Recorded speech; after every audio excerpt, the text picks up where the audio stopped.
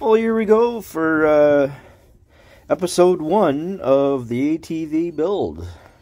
Just picked this up at Princess Auto for 89 bucks. It's going to be the first of many expensive parts, but it's a project and it's going to be fun to build. It's a North American clutch, which is a centrifugal clutch. Okay, just installed it. And it has a little screw that goes in the there, which is like a little Allen key. It's got the machine little part under there. But before that, not realizing it, of course, it has it with the box. But I bought this with it. So I was going to uh, put the little custom one in there. And then when I discovered it, and it has an extra screw. So that's good. So this is the start. And gonna have to get this screw out, or bolt, specialty.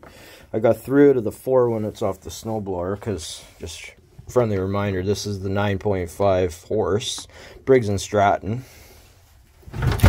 So I got it all apart. There's the carb. Pull cord. So today's goal was this guy and then this is the bolt. So I'm gonna heat it up. I got uh, got the torch and then cranker. So I also got some other uh, little goodies for future references. I got a digital caliper reader on. See? See look at that. Awesome. First one. I never had one of these before. Just centimeters and inches here it is here it was like 20 bucks. It's gonna be many probably tools gonna have to get picked up for this project but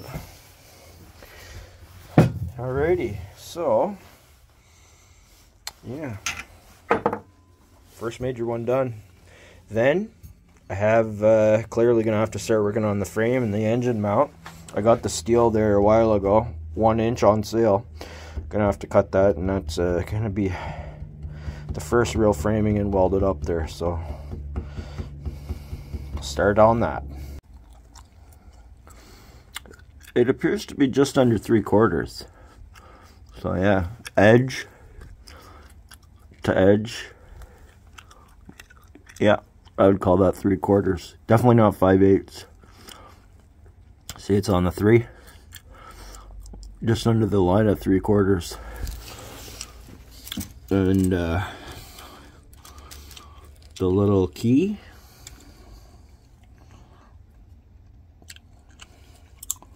Appears to be above an eighth.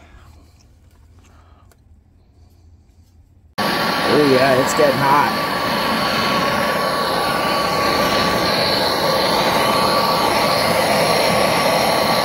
There it is there. See, that's the bolt.